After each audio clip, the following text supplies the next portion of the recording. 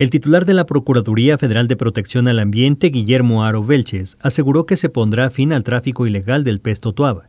Recalcó que en el tema de tráfico ilegal de especies en México, uno de los mayores problemas es el pez totuaba, una especie endémica de la parte alta del Golfo de California, que se encuentra en peligro de extinción por el tráfico ilegal al mercado asiático.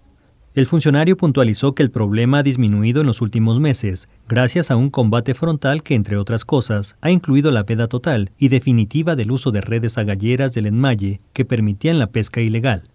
Detalló que para mantener el control sobre el tema se distribuirán inspectores durante la temporada de vacaciones a las afueras de centros comerciales y en avenidas principales en los estados del centro y norte del país, donde se han concentrado los mayores problemas de tráfico de vida silvestre. Notimex.